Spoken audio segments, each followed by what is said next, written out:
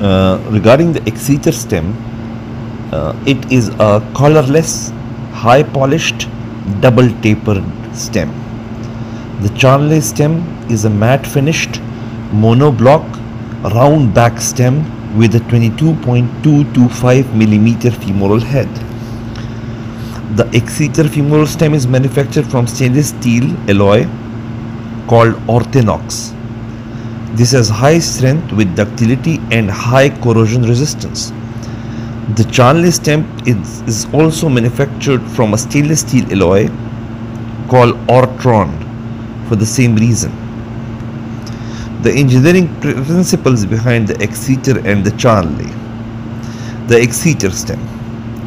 It depends on the taper slip engineering principle. Hoop stresses are transmitted to the femoral bone which expands during loading of the component. The polished stem allow for subsidence within the stem mantle which maintains stability of the implant and protects against loosening. The philosophy behind the design is that it anticipates stem cement debonding distributes the stress evenly in the cement mantle and accommodates creep and stress relaxation in the cement mantle. The stem is known to subside into the air-filled centralizer which leads to low shear stress, high compressive stress and low and almost no tensile stress. This in turn increases axial and torsional stability. This subsidence also seals off the stem cement interface to prevent any fluid flow which may lead to loosening. Now coming to the Charnley stem, the Charnley stem depend on the composite beam engineering principle. This depends on perfect bonding of the stem to cement interface and the cement must provide good support. The physiological load on the head of the process is transmitted to the metal stem to its tip and then to the cement and bone below it. The Charnley was pioneer in the field of arthroplasty through the concept of low friction torque.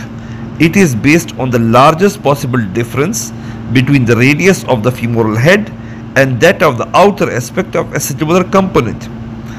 As the movement takes place at the smaller radius, the articulation, the bone cement interface is protected.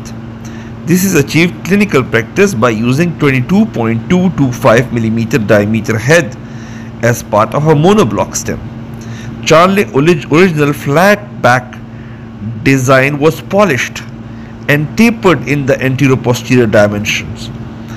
In retrospect, if we see, it is a progenitor of taper stem philosophy, that is Exeter.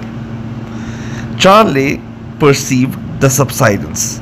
He observed in his early series and he thought it is undesirable despite its low rate of loosening.